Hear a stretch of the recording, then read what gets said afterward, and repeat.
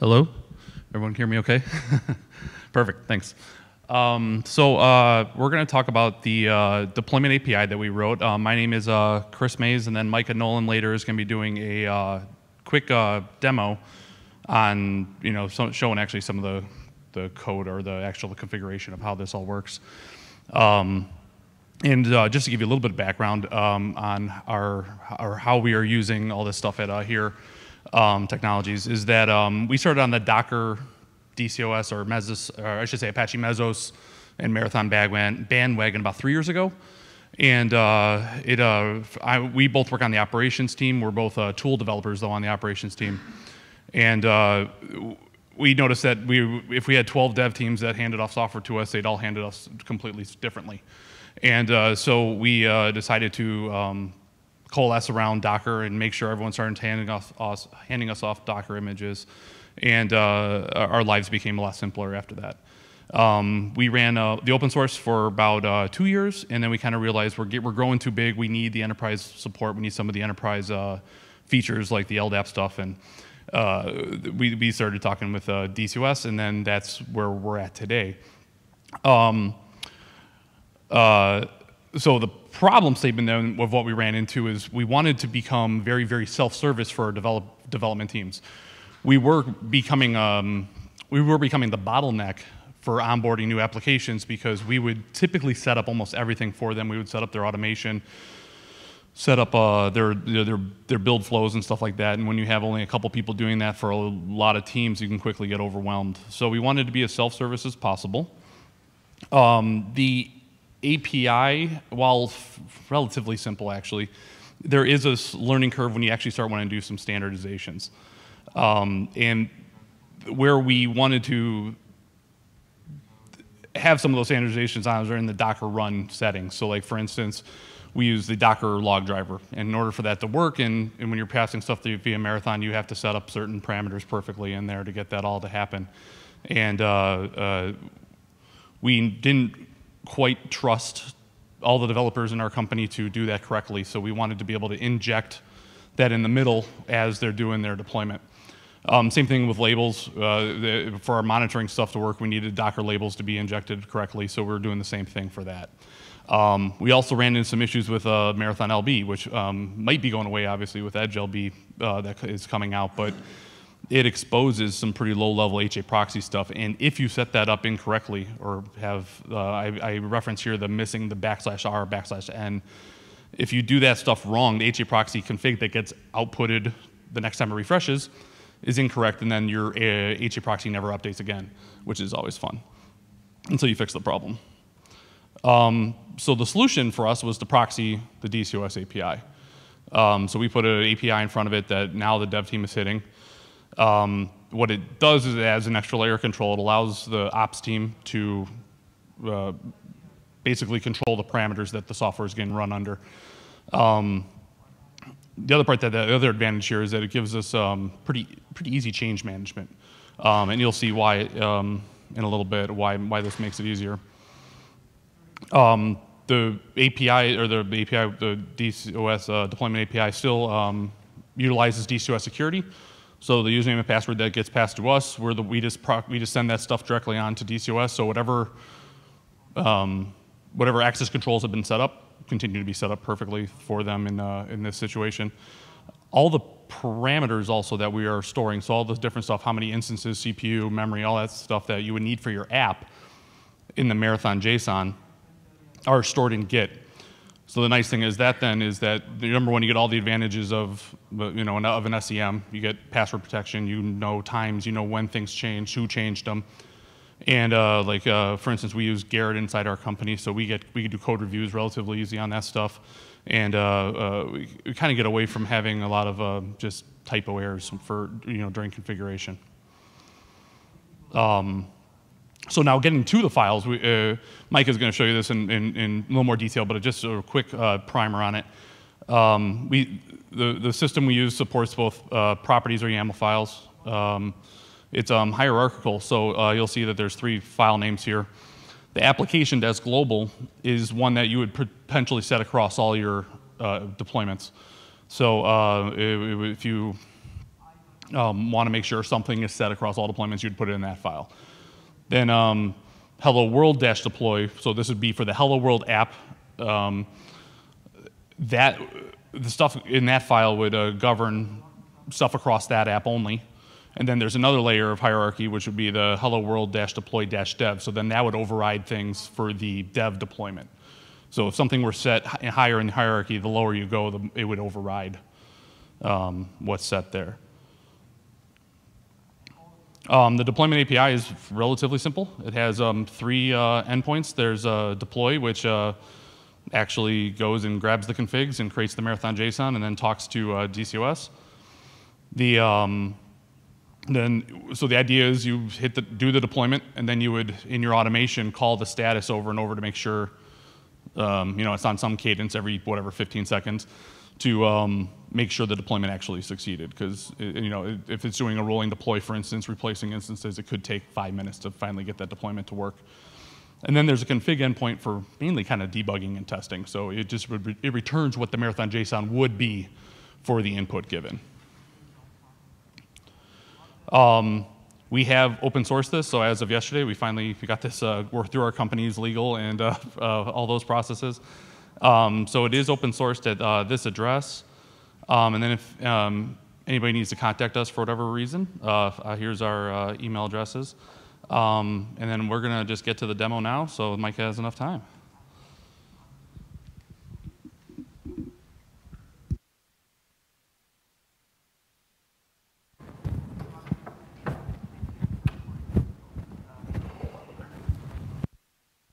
You guys hear me?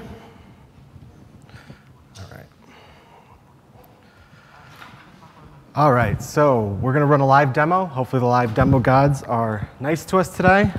We're running this in Amazon, uh, demo DCS in Amazon. Um, the first thing I'm gonna do is install the deployment API service, show you the user interface for it. Um, then I'm going to show how we build configuration files, those three files that Chris was talking about. We build those YAML files in the Git repo uh, in the deployments Git repo. And then finally, I'm going to show a Jenkins declarative pipeline running, which builds a, builds a service and deploys it to uh, DCOS. So the first thing we're going to do is install deployment API service to DCOS. Unfortunately, we have we, we're doing it with uh, the Marathon JSON directly right now. We're still waiting for the final legal approval to get the image on Docker Hub. Um, but the, it's open source. It's just our lawyers just need to finally uh, approve the terms of service. So what our ideal scenario for this is to have it as a uh, DCOS Universe app that you install with one click. We have that working in our environment. We just need to get that final approval for the image on Docker Hub and uh, get that pull request for the Mesosphere universe uh, approved.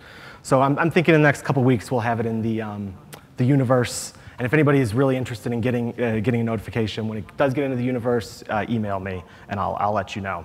So uh, for this demo, I'm, I'm installing it out of a image I've built and pushed to our local Docker registry. Um, and this is built out of the public repo. And there's only two configuration items that go into the deployment. And the first one is your Git URI and that is the SSH URI for your Git repo. We have, uh, for this demo, we've got it in GitHub. This is a public repository, so you can go in and see what this looks like. Um, and then the second configuration item is the SSH private key to access that Git repo. So in GitHub, this is you create a deploy key for this, you generate your public and private key, add the public key to GitHub, and then you take your private key and you use a DCOS secret for this. Um, so if you're not familiar with that, all you would do is take the chunk of text, your SSA, your RSA private key, and paste it into uh, this secret. And that's it. So let's deploy this service. Nope.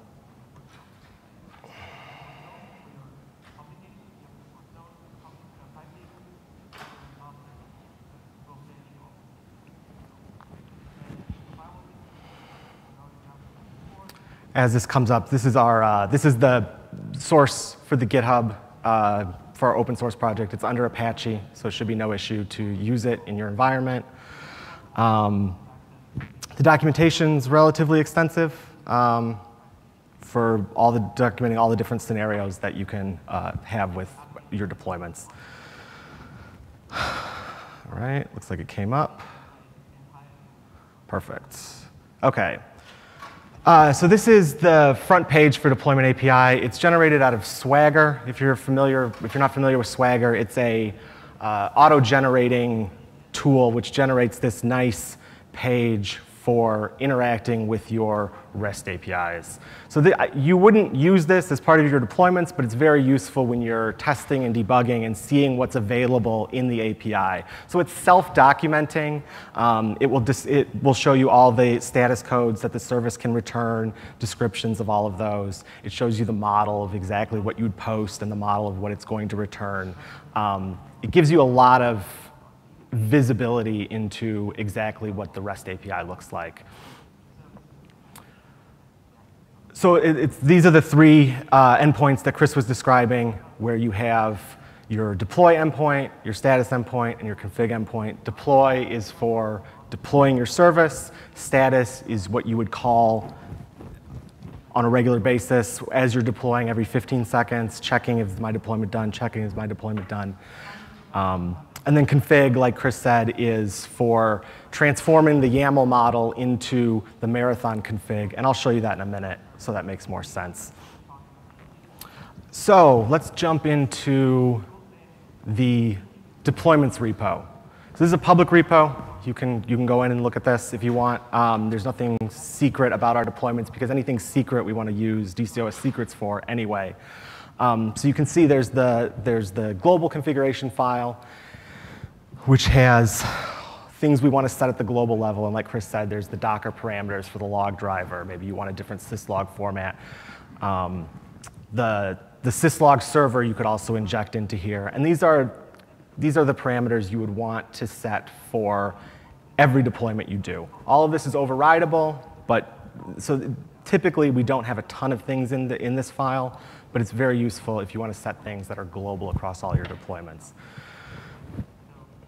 So in this example, let's say we have an app called Cool Service. It's like a um, hello world server type service um, for deploying. So this is the application config for Cool Service. This would, this would apply to every deployment of Cool Service. And under the Marathon namespace, this should look pretty familiar to you. Um, it's very similar to the Marathon JSON format. Um, and even though JSON is completely derivable from YAML. Uh, the YAML model isn't a one-to-one -one conversion, it's a custom YAML model, which gives us some, some easier controls over certain things that are difficult in the JSON format, like constraints are a little more straightforward and easier with the YAML. Um, if, if, you're familiar with the way DCOS constraints work, it's like an array of strings, and you kind of have to go back to the documentation to figure out which which string corresponds to which field, but in this, the, the fields are all labeled. So we get more control over that.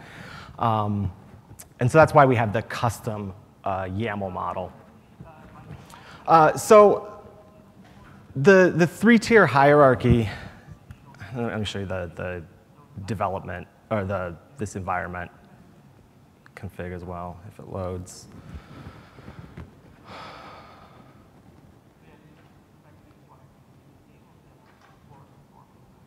Hmm.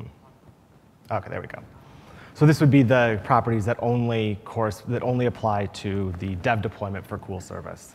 Um, so the way the three-tier hierarchy works is that environment can override application settings and global settings, and application can override global settings. So you have complete control over what you inherit and what you don't. Um, so the easiest kind of show what this all looks like. So the way it works is it will merge, when you deploy, it will merge this file, like let's say we're deploying cool service to dev, it will deploy, it will combine this file, this file, and the global file So this is what, so if we look at the config endpoint and we do dev, and this is, this is the nice thing about Swagger. It gives you the exact curl command that you would need to run this. Uh, it gives you that for all of the endpoints. Um, it's a very nice thing for debugging. But this should look very familiar to you. This is the Marathon JSON format. So this is all three of those files combined and then transformed into the Marathon JSON format.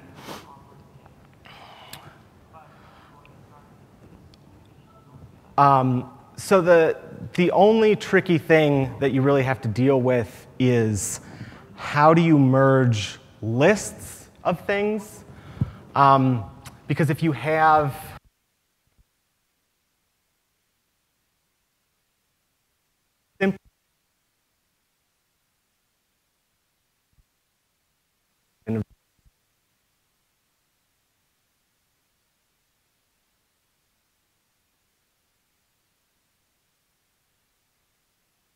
handle that is by these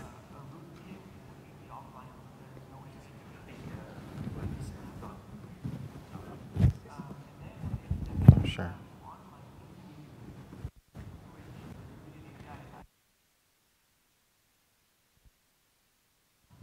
Check, check.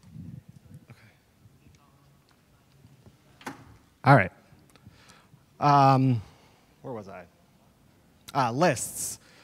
Um, so, oh, right. So the way this works is we have these additional namespaces on, that, for global application and environment properties. So you can see under the global namespace, you can set a list of Docker parameters, and that will get merged with any of the other application Docker parameters or environment Docker parameters in the other namespaces. So the easiest way to, to show this is with the labels. So this application, Cool Service application, has two labels defined uh, DCOS service port index and DCOS service scheme.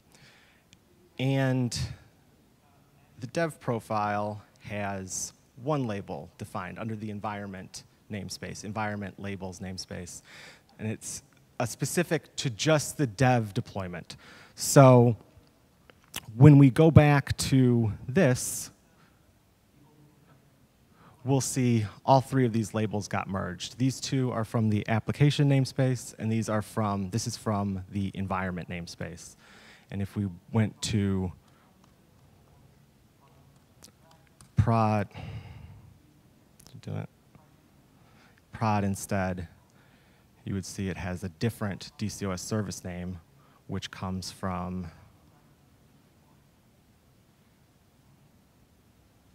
this file the prod file. Um, overriding uh, individual properties is very simple.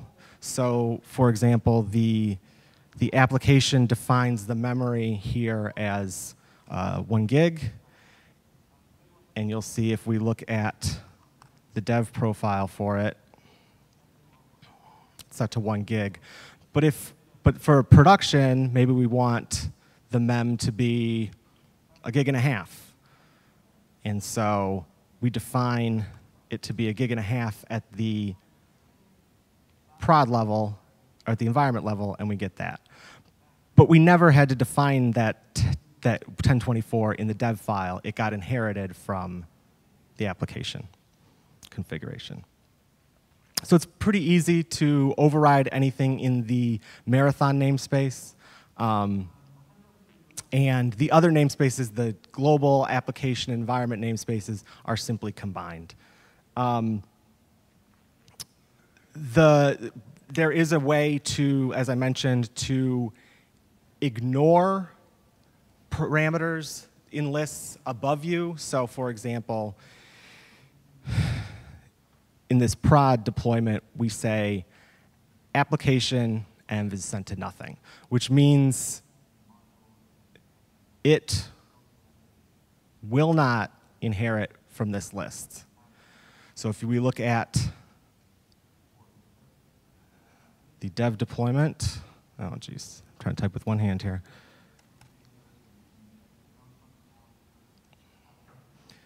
You'll see it has the reference to this secret in the environment, we define the, the secret object, and then we have the reference under the env here. But if we looked at the prod deployment,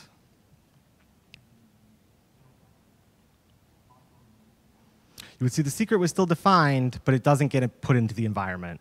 So that's so that's how you control exactly what goes into your final deployment. Um, there's one more feature that I, I that's uh, easier to see in the documentation. Um, and this is something that Chris mentioned earlier. So we have the idea of label templates. Um, so this makes it easy to define complex strings as templated options. So we have two built in specifically to deal with these strange HA proxy options that you need to add as labels. Um, so it injects the, the argument that you pass in to here, and that, that's for health checks on a host name. And then this is for increasing the timeout um, for HA proxy. And of course, you can define your own custom label templates without changing the code. Um, and it's described in the documentation. You would just add a YAML file to the, to the deployments repo, define your template, and you have complete control over what that template looks like. And labels are used for lots of different things in Docker orchestration. I mean, we use it for monitoring and for uh, very, you know, I know Datadog uses it. I know HA Proxy uses it. Um, lots of things use it.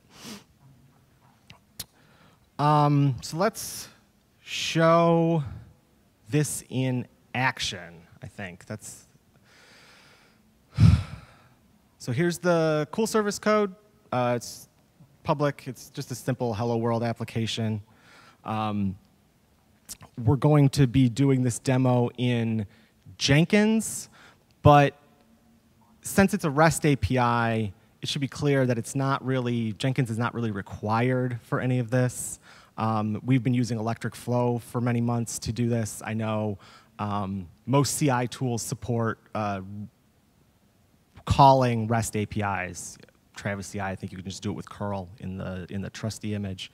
Um, but it's not Jenkins specific. But I will show you the, the Jenkins file because we have examples in the documentation of exactly how to write these methods um, so your dev teams can use it. So I import this library. Um, this is in the documentation. I'm not going to get too far into this. Um, but all this library does is provide this function here called uh, deployment API. And what this function does is calls the deploy endpoint, passing in your app name and environment, and then the Docker image. And then it calls the, it blocks while it calls the status endpoint, waiting for a successful deployment. Uh, so this Jenkins file is not too uh, complicated. Otherwise, all we're doing is testing and building a Docker image and doing the deployment. So let's pull up this Jenkins. Um, so I can, I'm going to start this pipeline up. Um, it'll run. It takes about 30 seconds for the executor to spin up in Mesos here. It'll show up here. But while that runs, um, I kind of want to show you exactly what you would put into the deploy when you're deploying. So there's five parameters that go into a deployment, and these are your DCOS username, your DCOS password. This is your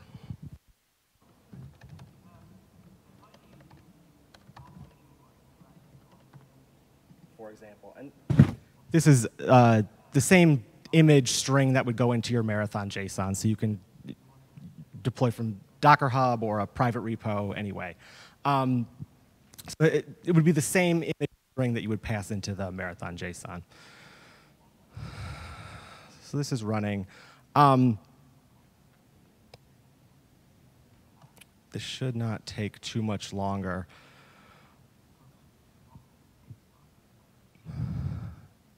The um,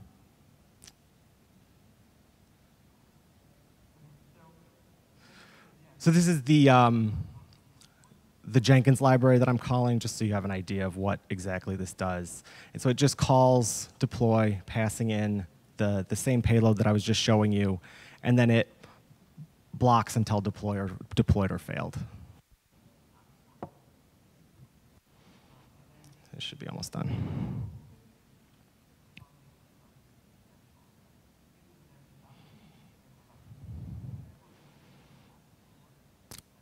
Okay, so once it gets to that dev deployment section, we see it already starting up here in, in DCOS.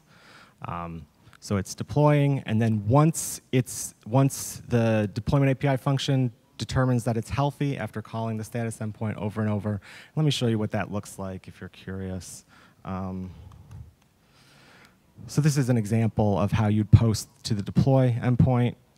This is what it returns. It returns your app ID. And then when you post to the status endpoint, you pass in the same information, your username, password, uh, app name, and app environment. You don't pass in the image, obviously, because you're looking for the status. And it returns you something similar to the Marathon um, deployments API. Um, so this is what it looks like when it's deploying, and this is what it looks like when it's finally deployed. So all my Jenkins function does is look for this state of deployed and that these, these tasks running equals tasks healthy. Um, right, so the service came up fine. Uh, this Jenkins pipeline um, requires me to click proceed to go forward. But what you'd really want to do is have tests here. You'd want to have integration tests. You'd want to have uh, load testing um, whatever you'd want to do, but you'd be testing against the real deployment. And you'd know it was deployed successfully if it got out of this stage. And you'd know that you were testing against the real service here. Um, so if I click proceed here, come on, Jenkins.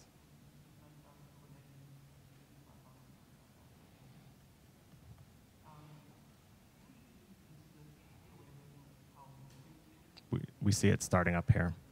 And this has all the configurations from that we've seen from uh, the, the YML.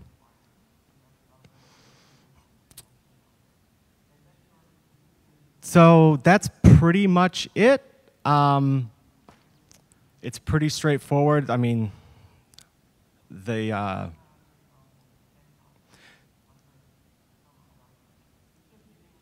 does anybody have any questions? Yeah.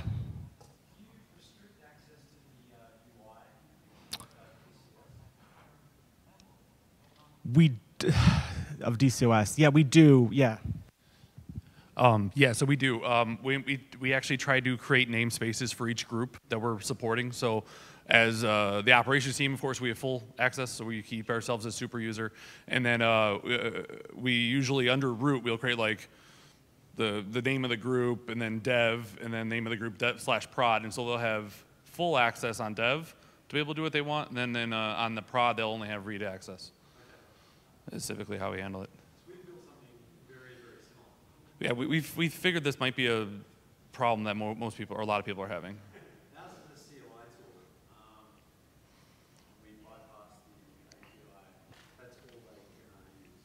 Mm-hmm.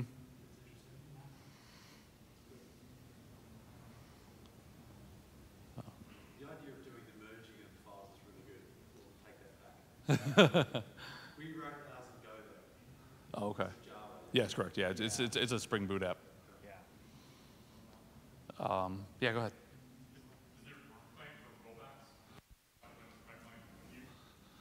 Um, no, we don't have uh, rollbacks in there right now. Um,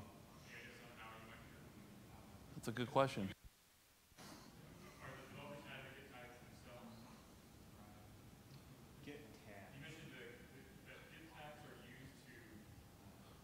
Oh, no, the marathon labels. The marathon labels are used to configure a lot of stuff. So like Datadog, for instance, turns marathon labels into uh, Datadog tags. So it's in order for, for our monitoring to work.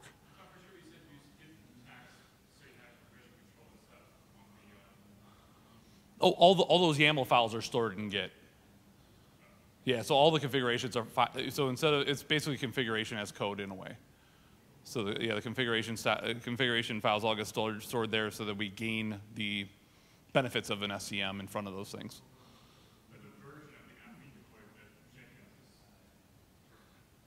Correct, yeah, correct. Yeah.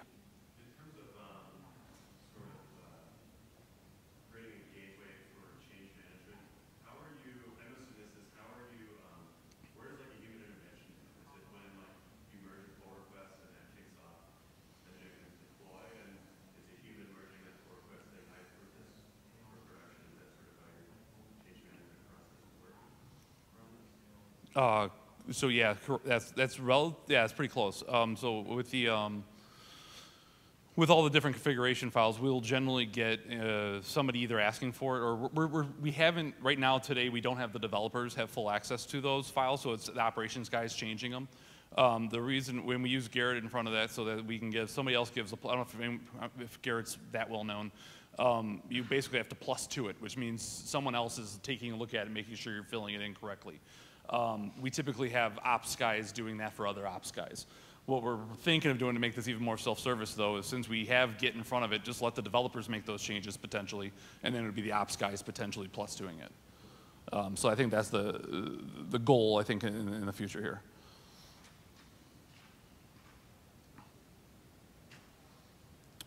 Any other questions?